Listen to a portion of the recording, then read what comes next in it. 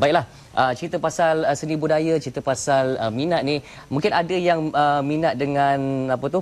Uh, bentuk-bentuk perhiasan cincin batu permata ke. Ini biasalah kan orang orang kita ni suka juga uh, benda-benda macam tu.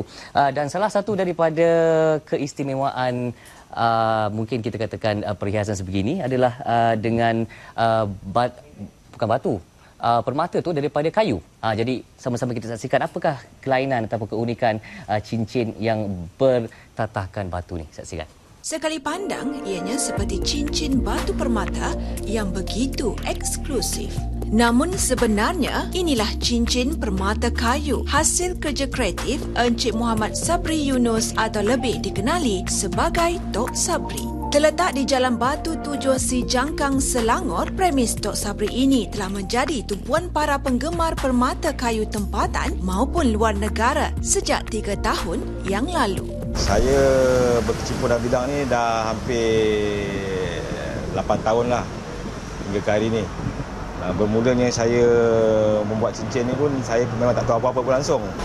Yang buat saya bermula membuat cincin ni daripada arwah bapa saya iaitu Yunus bin Abu yang dah meninggal dunia pun.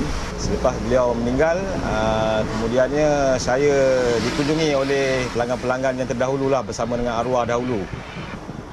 Orang tu selalu datang datang datang kan minta buatlah macam mana yang arwah dulu buat. Saya pun nak pakai teringin juga. Pasal dia pun tahu asyat-asyat kayu yang sedia ada dalam kayu. Jadi dia berminat kat situ kan Tok Sabri dikagumi kerana kehalusan pembuatan cincin berpermata kayu yang begitu artistik dan tiada tandingannya. Menurut Tok Sabri, pada masa ini terdapat 18 jenis kayu yang masih ada dalam simpanannya untuk dibuat permata cincin seperti kayu kemuning hitam, kemunggal, raja kayu dan sebagainya. Desain yang paling top yang saya pernah diorder oleh orang Singapura lah. Singapura, England, saya hantar ni lah setiap pelosok negeri lah. Inilah design dia.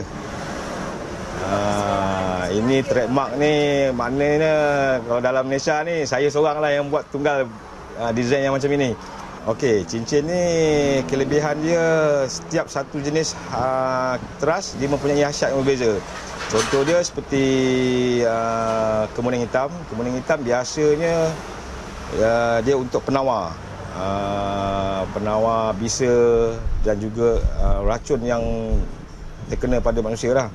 Jadi direndam dalam air dan airnya itu boleh diminum. Uh, dan juga dia juga penawar segala penyakit yang kronik yang ada dalam badan.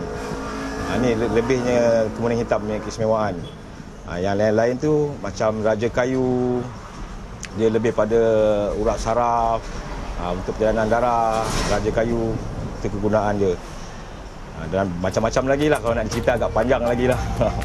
Kayu-kayu ini dipotong kecil sebelum dicanai dengan mesin canai bagi membentuk ketulan-ketulan bulat atau bujur sebelum menjadi rekaan permata cincin kayu yang berkilauan.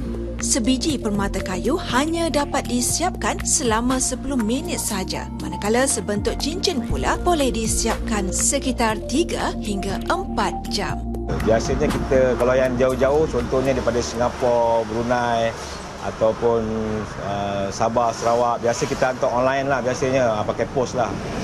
Uh, mana yang hampir yang dekat sekitaran seperti Kuala Lumpur, Kelang, Selangor ni kan uh, dia orang biasa datang ke kedai terus lah.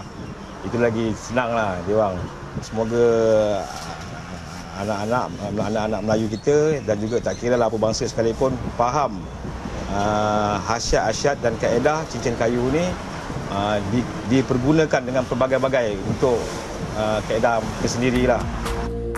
Selain cincin kayu, Tok Sabri juga turut aktif menghasilkan barangan aksesori diri yang lain. Antaranya gelang tangan termasuklah hiasan daripada batu permata, antaranya zamrud, nilam, arcade, tiger eyes dan sebagainya. Kepada anda yang ingin mengetahui lebih lanjut mengenai cincin kayu ini, bolehlah ke Facebook Tok Sabri, si tukang cincin.